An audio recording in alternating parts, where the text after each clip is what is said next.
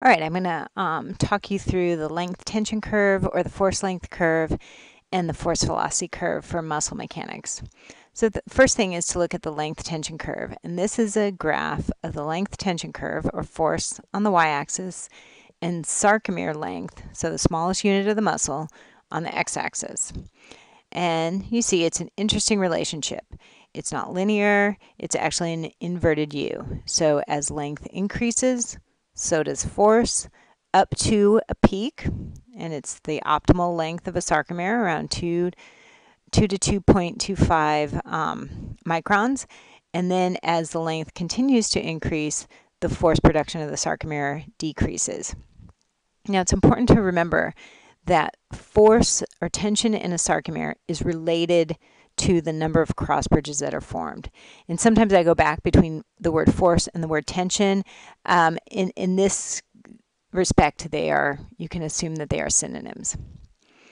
Right, so let's look at a different view of this. Um, this is my version of the tension or force and sarcomere length, and this tells you the why that the force is decreased or increased. So at optimal, you see that the actin and myosin have all their openings to form cross bridges. And remember, the number of cross bridges is directly proportional to force production. If you go to a, a shorter or a squished sarcomere, um, you can see that some of the cross bridge sites are not available because the actin overlap. And so you have a decreased number of cross bridges and thus decreased force production. Then you go to a lengthened view of it, and the sarcomere is too long and it's stretched out so the actin and myosin cannot form optimal number of cross bridges. So the number of cross bridges decreases and thus the force production decreases.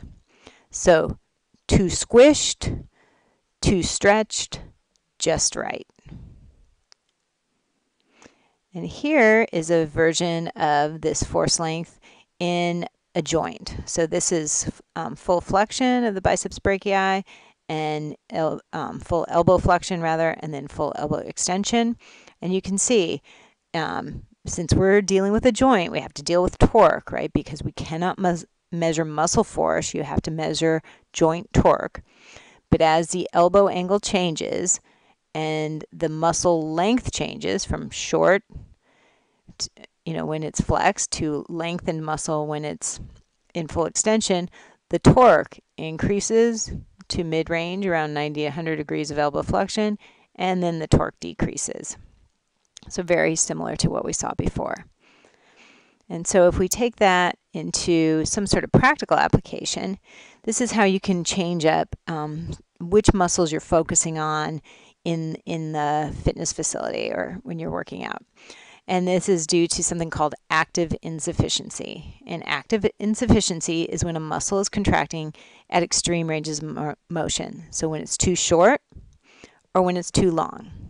remember, when a muscle is too short, all its sarcomeres are too short, they cannot form enough cross bridges and cannot generate force.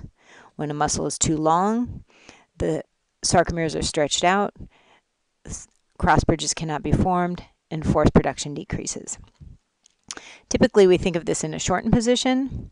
And so I'll show you um, an example of when you go into knee flexion and plantar flex the ankle, you have shortened the gastrocnemius, which we'll go over next week, and then the exercise would focus on the soleus. And here's an example of that. Hopefully it, we can move it into this frame of reference.